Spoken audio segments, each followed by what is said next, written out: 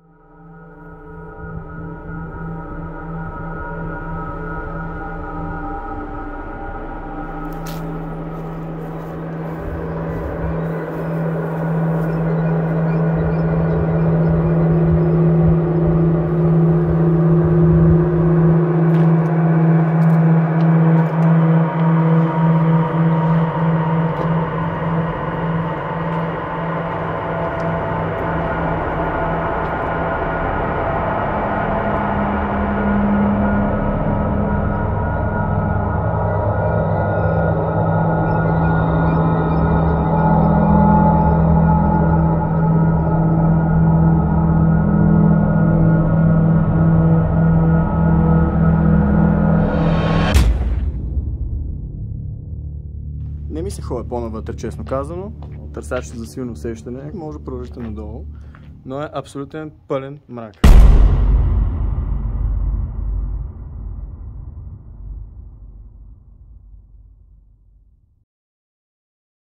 Здравейте отново, скъпи приятели! Намираме се до пещера Козарника. В момента се изкачваме към пещерата. Има малко преходче, може би 10 на минути максимум. За съжаление няма табела, но може да използвате GPS координатите и те ще ви отведат до нея. Пещерата се намира в западна Стара планина, много близо до Белградчик, област Видин. Разположена е само на 30 км от пещера Магурата, която разгледахме в предната серия и само на 7 км от Белградчик, където е отправната ми точка към обектите в тази поредица от серии. Съветвам ви да следите, защото като за финал от тези няколко дни из местността ще завърша именно с Белограчишките скали. А до тогава ни делят пещера Козарника, която е нашата тема днес и пещера Венеца в следващия епизод. От отбивката на пътя се тръгва по не много стръмна пътека нагоре и до пещерата се върви около 250-300 метра. Пещерата е отворена целогодишно и не е облагородена. Ето това е отбивката, реално. Няма някакви други знаци и табели и така нататък, ето колата, където съм изправил. Ето тук е един маркер, който показва, нали, ето като идвате отдолу, зависи от къде идвате. А това е другият маркер, който показва посоката нагоре по черния път, който не е за кола, естествено, както се вижда. А си вървите пеша, нищо, че някакви хора се опитват да качат догоре. А, да, има още един маркер също, сега виждам тук що. Ето го маркера на самото дърво. Ето е маркер. Би ви помогнала като виждате къде трябва да пиете. Така, след малко ще продължа снимките отгоре, пред самата пещера и вътре в нея.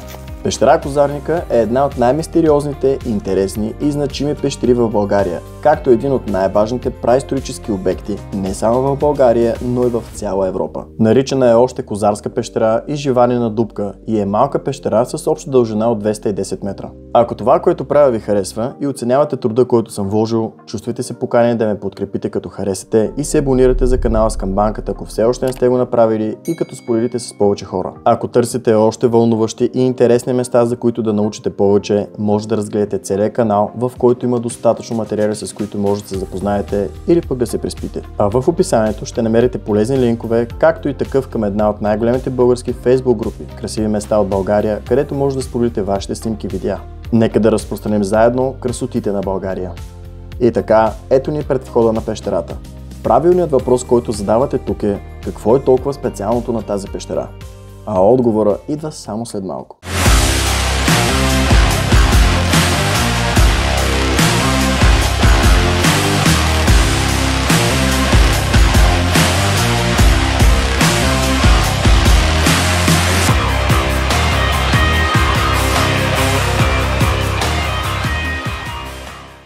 Рафаил Попов, който е емблематичен български историк и археолог, провежда редица археологически разкопки в над 20 населяване от човека пещери, сред които са Темната дупка и пещера Миризливка.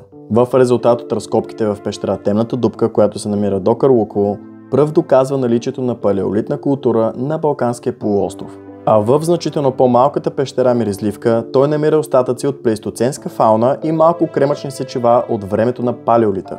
В една от публикациите за откритията си Попов пише, че отсреща се намира друга обещаваща пещера, като има предвид Козарника. Ето там горе телевизионната кула. на град Белградчик. Реално сме точно от другата страна. Белградчик се пада в дясно. И така, през 1996 г. в пещера Козарника се извършват археологически разкопки, организирани от Археологическия институт на Българската академия на науките в София и Института за геология и праистория на Квартернера в Бордо, ръководени от Николай Сираков и Жан-Люк Гладели. Те разкриват къснопалеолитна култура от 37 до 34 хилядолетие преди новата ера, което значително се различава от нейните съвременни находки в Темната дупка и Бачо Киро, като показва сходства с култури, разпространени в Западна Европа няколко хилядолетия по-късно. Тук точно идват и първите шокиращи находки. Учените правят сензационно откритие, като намират следи от най-стария европейски прачовек, на възраст, забележете, поне 1,6 милиона години, което ги прави автоматично най-старите в Европа. Изследванията показват, че това са най-ранните следи от човешко присъствие в Европа и сочат към това, че заселването на европейския континент започва вероятно от Балканите. Но възможно ли е това? Не е ли доста гръмко? Ами да, определено е, защото преобръща като цяло представите до момента. Нека сега да прегледаме наличите данни по темата и да видим защо това е такава сензация. Преди да бъде проучена пещерата, се е смятало, че праисторическите европейци са преминали от Африка към Европа чрез протока Гибралтар, а не обратното. Тази теория, разбира се, е подкрепена от останки и артефакти, които датират между 400 000 години и 800 000 години. Учените споделят, че пещерата е обитавана през средния палеолит, но най-голямо значение имат най-долните пластове. Те са датирани на възраст от преди 0,6 до 1,4 милиона години, където са открити един зъб и една костна фаланга. Откритият зъб е вероятно представител на рода Homo, или може би Homo erectus. Ако датировката е правилна, то това би било най-старото сведение за присъствие на хора в Европа. Но защо да имаме само една сензационна находка, като може да имаме и втора? Правилно чухте, втора. И то каква? Намерено е най-старото проявление на абстрактно мислене върху парче кост, което предизвиква истински шок и страховити дебати. Находката е от рано палеолитните пластове в пещерата, датирани от преди 1,2 до 1,4 милиона години, по която има нанесени поредица от 4 групи успоредни нарези.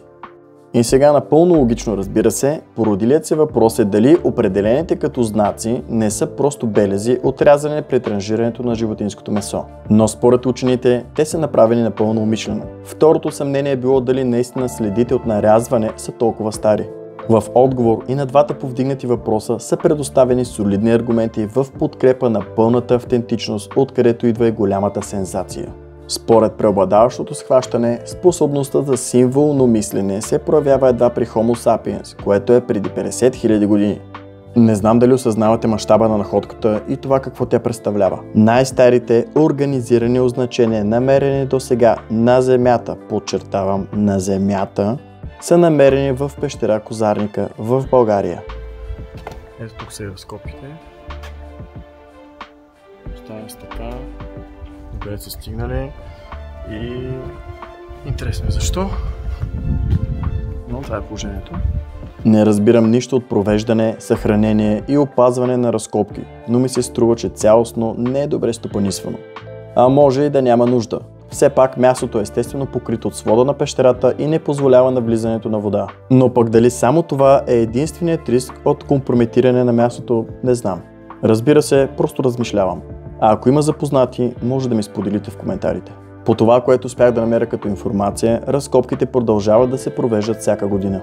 Открити са още фосилни черупки от малки охлювчета с размери около 6 мм, като има следи от шнурчето, което е свързвало черупките в бижуто, което показва, че са били използвани за изработка на украшения като гърлици, гривнички и амулети.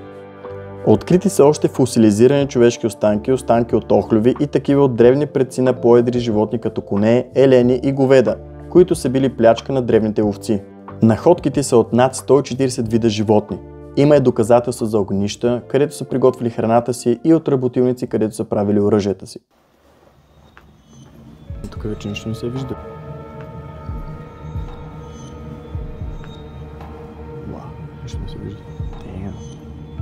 До тук ще ме.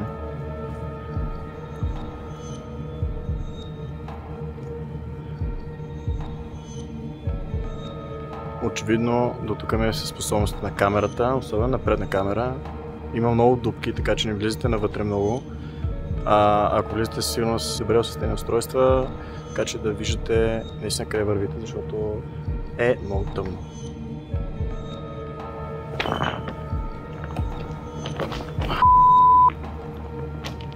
Не ми се ходя по-навътре, честно казано. Търсачите за силно усещане, може да продължите надолу, но е абсолютен пълен мрак.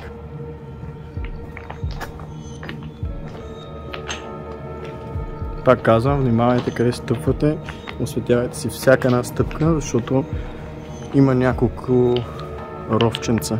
Ровченца. Какво кажа ровченца, не знам. Ето, примерно, това е ровченце. Виждаш си разкопките как са спрели до тук. То не може да се види много хубаво с този телефон. Това е максимум, който може да се направи. Няма да изключа да видя.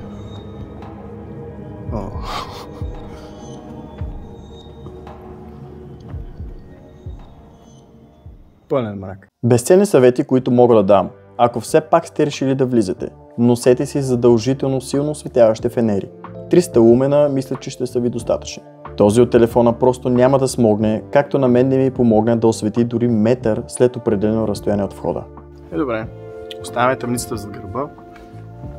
Единодушно видяхме, че аз не искам да продължа нататък. Това беше серията за козарника. Оставяме зад гърба си. Точно на място, което посетих. Радвам се, че успях да го направя. А, влизането навътре оставя на ваш отбор, естествено. Есено време, мега някакво, понеже ви се това има тук. Ще е чудо и приказ. Любовайте се, разхождайте се, спортувайте, правете си излети и обожавайте природата. Разбира се, не хвърляте покуци. А ако видите някой да го прави, пляскайте. Това беше за днешната серия. Надявам се тя да ви е харесала. Остава ни още една пещера, която ще посетим в тази местност, която беше великолепно обаграна в цветове. Барете здрави и до следващия епизод.